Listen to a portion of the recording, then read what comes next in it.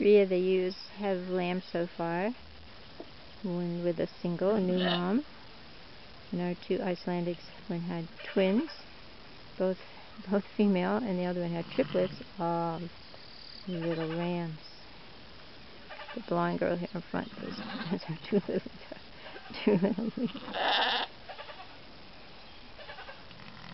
Come on, ladies. There go the boys. There goes everybody. Off to join the flock.